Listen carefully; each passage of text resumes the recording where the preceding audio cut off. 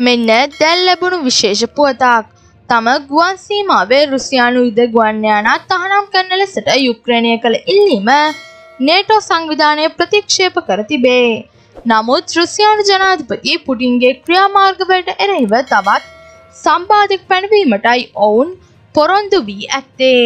යුක්්‍රණ ජනාධිපති පසුගිය පෙබ්‍රවාර් විසිහතරවෙනිදා රුසියානු හමුදාව ආක්‍රමණය කළ තම රට පුරා පියාසර තහනම් කරාපයක් ප්‍රකාශයට පත් කරන ලෙස නේටෝ වෙත ඉල්ලීමක් කර තිබේ.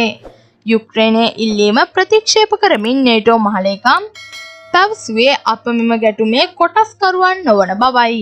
මෙම ගැටුම යුක්්‍රේණයෙන් ඔබට පැතිරියම් වැලක්වීමට තමන්ට වගකීමක් ඇති බව ඔහු බ්‍රසල් සී පැවති නේටෝ සංවිධාන රැස්වීමකින් පසුව කියා සිටී.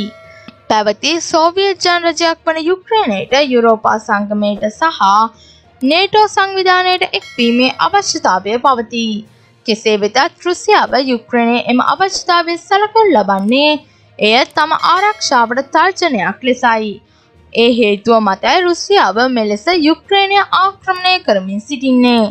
රුසියානු හමුදාව ඔවුන්ගේ ප්‍රහාරය ආරම්භයෙන් පසු ජනාකීන ප්‍රදේශ හා සිවිල් ජනතාවගේ යටිතල පහසුකම් ඉලක්කවලට ශෙල් ප්‍රහාර එල්ල කර ඇති අතර නෂ්ටික බලාගාරයක්ද අත්පත් කරගෙන ඇත. මෙවැනිම උණුසුම් පුවත් ලත් සැනින් දැනගන්න මේ දැන්ම අපගේ චැනලය සබස්ක්‍රයිබ් කර